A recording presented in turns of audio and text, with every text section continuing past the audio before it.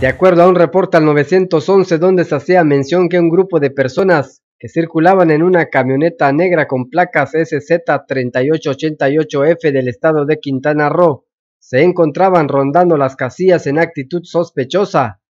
Elementos de la policía estatal y la municipal realizaron la detención de 11 sujetos, quienes a decir de los agentes se encontraban alterando el orden en la vía pública. No obstante, a uno de ellos le fue encontrado droga, al parecer marihuana. Sin embargo, todos fueron llevados a las celdas de seguridad pública y tránsito para los fines correspondientes.